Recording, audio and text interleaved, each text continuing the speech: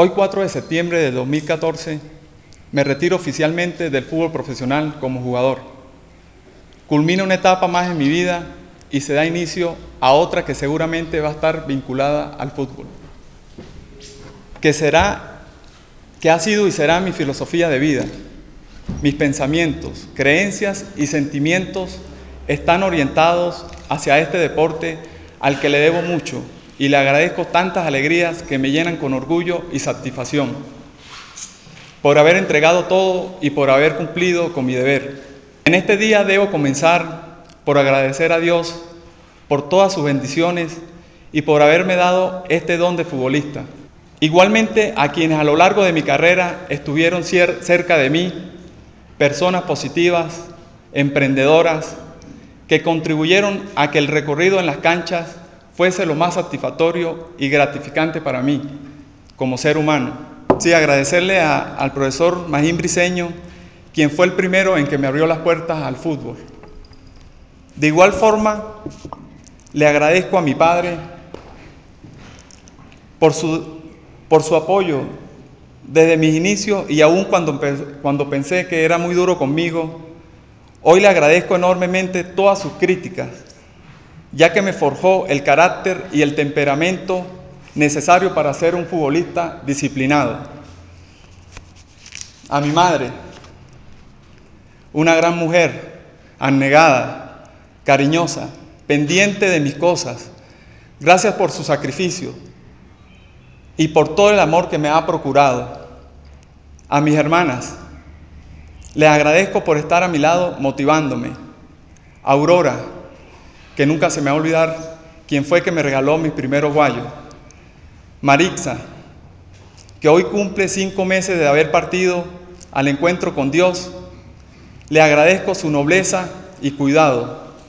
A Mildred, gracias por tu compañía.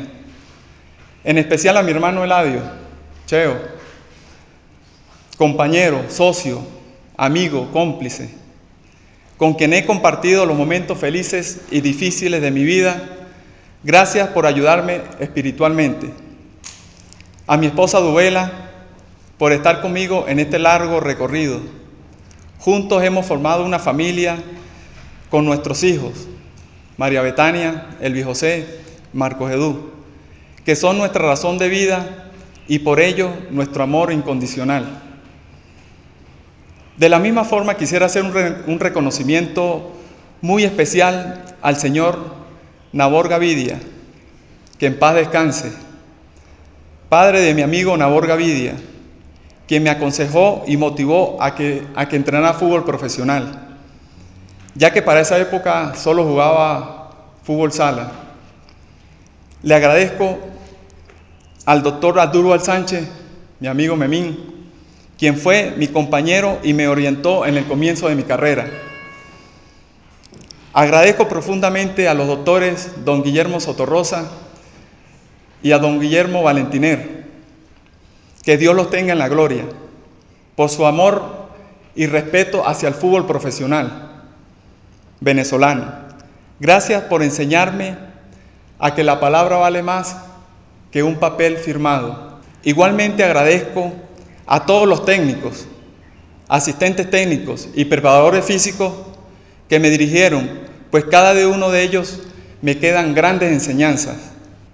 A los clubes y equipos a los cuales tuve el honor de representar, Ula Mérida Fútbol Club, Unión Atlético Táchira, Estudiantes de Mérida, Celta de Vigo, Caracas Fútbol Club, Deportivo Táchira, Nacional Táchira, Unión Atlético Maracaibo y Deportivo Lara.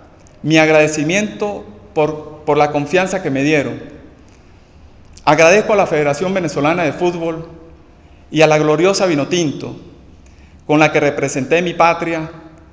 Qué orgullo fue haberme colocado y sudado esa camiseta. A mis grandes amigos, los futbolistas,